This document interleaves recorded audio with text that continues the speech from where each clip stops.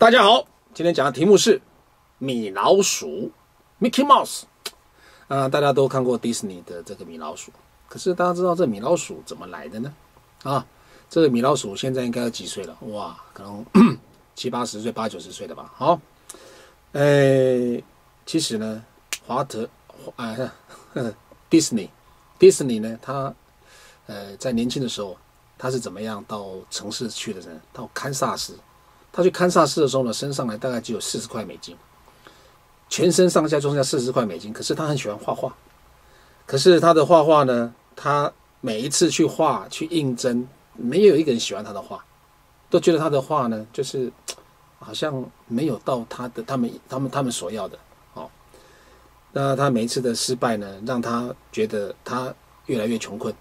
呃，穷困到他去租了一个人家废弃。不用的车库，哦，就住在里面，那顺便当做他的画室，啊，一个，那这个当然废弃的车库里面当然很脏乱了哈，那里面也活了很多的生物，包括了一只小老鼠，哦，那当这个迪士尼很挫败的时候，这个小老鼠也在他身边，他在作画的时候呢，这些小老鼠呢也在他身边，晚上睡觉的时候呢，他经常呢。这个睁着两只眼看着天花板，不晓得怎么办的时候，人生觉得好像到了谷底了。但小老鼠呢，也在他身边，他可能在那天花板上面呢，瞪着两只小眼睛在看他。好，那他一直觉得这只小老鼠就一直跟着他，他们两个人好像有一种情谊哈。好了，有一天他离开了 Kansas，他去好莱坞去帮一部卡通片呢，去当这个其中的一个一个小制作。